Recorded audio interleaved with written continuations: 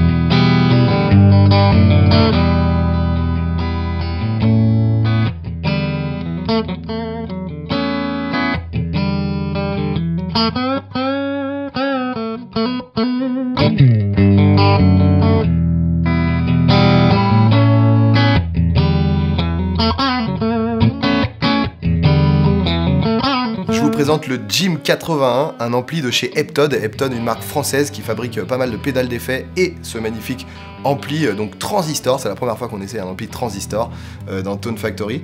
Alors transistor, ça veut pas forcément dire euh, entrée de gamme, ça veut pas forcément dire ampli cheap pour commencer la guitare. Là, on est sur quelque chose de très haut de gamme, on est sur quelque chose qui a été travaillé, qui a été réfléchi et ça se sent. On a un son qui est très ouvert, très chaud. On a des sensations qui sont vraiment similaires à celles d'un ampli à lampe finalement. Euh, c'est un ampli qui a deux canaux, donc qui a la particularité d'avoir un son clair et un son saturé, et qui est basé sur deux amplis très classiques. Euh, ici, sur ce canal clair, on a un Fender Blackface. Alors quand je dis on a un Fender Blackface, le son a été euh, calqué sur celui d'un Fender Blackface. Et ici, on a un canal saturé qui est basé sur le son d'un Marshall début 80, donc type JCM 800. Euh, je vous propose de réécouter ce son clair justement euh, ici, le canal Léo, en hommage à monsieur Léo Fender, avec une Les Paul. C'est parti.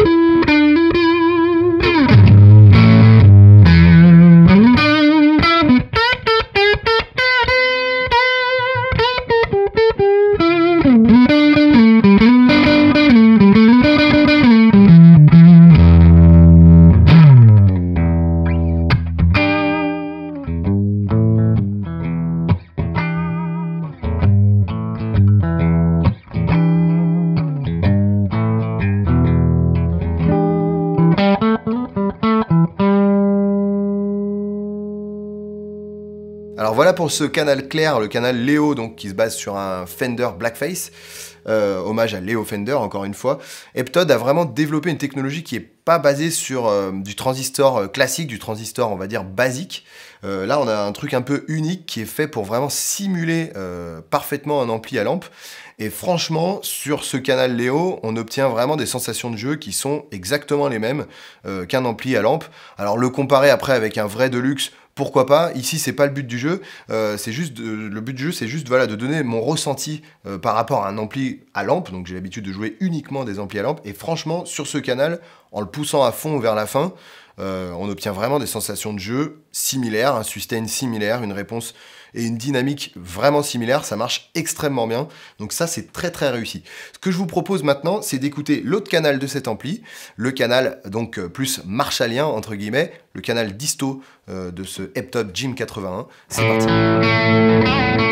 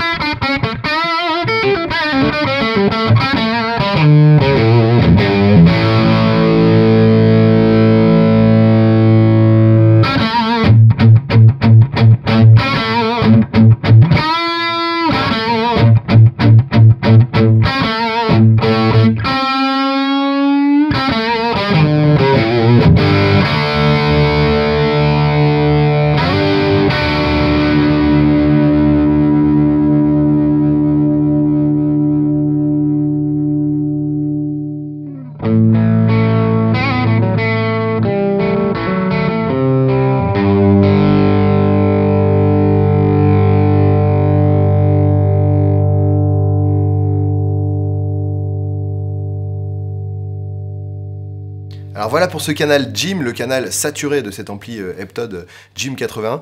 Jim donc pour Jim Marshall, euh, puisque ce circuit voilà, reprend celui du, JCM 800. Euh, cette partie de l'ampli, donc ce canal saturé. pour ma part, j'ai pas retrouvé franchement vraiment un vrai JCM 800, j'en ai un à la maison en 100 watts. on n'a pas exactement les mêmes sensations. Euh, notamment parce que là on a que un 12, donc peut-être que si on le mettait sur un 4-12 on retrouverait quelque chose d'un peu plus franc, mais ça manque globalement un petit peu de dynamique. Alors c'est très bien, euh, l'équalisation est très efficace, on voit que quand je monte le préamp, euh, ça, monte vraiment le gain de manière très progressive, c'est hyper facile à régler. Je me suis tout de même bien amusé notamment sur les solos parce qu'il y a aussi une bonne tenue de note, un bon sustain. Par contre, dès qu'on passe sur des rythmiques en mode un peu saturé, ça devient un petit peu brouillon, il manque ce punch qui appuie chaque coup de médiator. Alors c'est quand même réussi dans, le global, on se rapproche vraiment d'un JCM 800, je fais, je fais le difficile, hein. mais j'ai une grosse préférence pour le, pour le premier canal qui est beaucoup plus authentique et beaucoup plus euh, fidèle à l'original. Alors un petit mot sur les réglages de ce Jim 81. Euh, les deux canaux sont vraiment calqués jusqu'au panneau de, réglage sur les, amplis originaux. Donc euh, à savoir le canal Léo ici reprend le, le, panel de réglage d'un Fender Blackface, à savoir le volume, basse, médium, aigu. Et à chaque fois, au bout euh, du canal, ici, on a Level, en fait, qui permet de régler la puissance de l'ampli. Donc c'est un, ampli qui passe de 0 à 100 watts, selon sur quoi il est branché. Là, actuellement, on est en 8 ohms, donc on va jusqu'à 50 watts maximum. C'est très puissant, il y a largement de quoi faire euh, en groupe, euh, même plus que ça, il y a largement de quoi faire de la scène, des grosses scènes même, c'est vraiment puissant. Et on peut aussi jouer à très bas volume, notamment avec le Fender, tout à l'heure, j'ai essayé hors caméra, on a un son très agréable à bas volume, donc c'est un ampli qui, qui, convient très bien aussi à une utilisation appartement ou maison euh, pour jouer le soir, etc. Ça marche très bien. Pareil pour euh, le panneau de contrôle euh, du gym, du, canal gym, donc du canal saturé, le préamp qui se trouve sur les, les, JCM 800, le master également, basse médium aigu présence qu'on a également sur l'original, et puis level, pareil que Eptod a rajouté ici pour régler la puissance de l'ampli. En ce qui concerne l'équalisation, on est sur quelque chose de vraiment très très efficace, très travaillé. On voit que c'est du haut de gamme, hein, clairement. Dès qu'on bouge euh, les boutons, ça change le son. Dès qu'on bouge les médiums, on a plus de punch, etc., euh, etc. Donc ça, c'est vraiment bien parce que c'est facile à régler. Du coup, on cherche pas le son 10 000 ans. Euh, paf, on tourne le bouton, on a tout de suite ce qu'on veut. Ça, c'est très agréable. On a aussi ici un switch qui permet de passer en 15 watts, donc de réduire la puissance. Full ou low, très pratique aussi pour jouer à la maison notamment. Et puis un petit switch ici qui permet de passer euh, d'un canal à l'autre, mais également on peut faire ça avec euh, le foot switch ici, donc euh, livré avec l'ampli, très pratique, au pied, voilà, ça c'est classique. Derrière on a une boucle d'effet, une deuxième sortie pour un deuxième baffle éventuellement, et puis deux trois petites options, ça reste, assez classique. Un truc original c'est qu'on a une entrée devant, et puis une input derrière aussi, une entrée derrière aussi, ça j'ai bien aimé. c'est assez original si on veut pas que les jacks dépassent, etc. Euh, question d'esthétisme et question de praticité. Voilà, donc c'est assez complet comme matériel. Euh, Eptod, c'est quelqu'un qui travaille euh, de manière très minutieuse. J'ai pu le rencontrer, donc euh, c'est un vrai passionné de son, c'est un, vrai passionné de musique, et c'est quelqu'un qui fait des amplis qui sont voilà musicaux. Surtout pour ma part, pour le canal clair, encore une fois, Léo, j'ai retrouvé vraiment des sensations d'un Fender clairement, avec le punch, la dynamique, donc c'est vraiment bien fait. Un petit mot sur ce baffle aussi, euh, une x 12 avec un creamback Celestion, donc ça c'est du classique aussi, ça marche très bien. On a un son très velouté, c'est assez agréable à jouer, notamment à bas volume. Donc voilà, un ampli très complet. D'ailleurs, si vous avez déjà entendu parler de cette marque Eptod, c'est peut-être grâce à ses pédales d'effet, et notamment une qui est assez célèbre, qui s'est beaucoup vendue, celle-ci.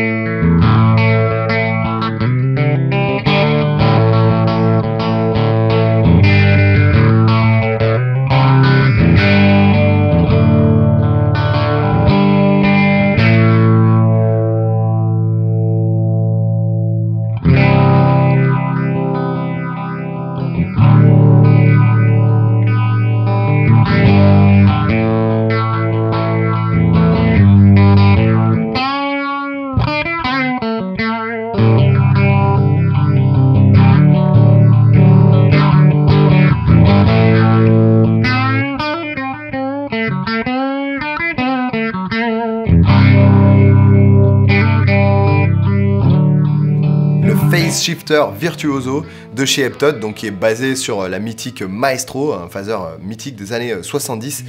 C'est un effet sur lequel j'ai complètement craqué euh, quand j'ai essayé l'ampli pour la première fois, donc j'ai euh, tenu à vous le montrer aujourd'hui euh, pendant cet essai. On reviendra peut-être sur cette pédale plus tard dans, une autre vidéo, mais pour info, il n'y a pas que moi qui ai craqué dessus, il y a un paquet de, guitaristes, notamment aux États-Unis, puisque on l'a vu récemment sur le pedalboard de Chris Schiffelt, donc le guitariste des Foo Fighters.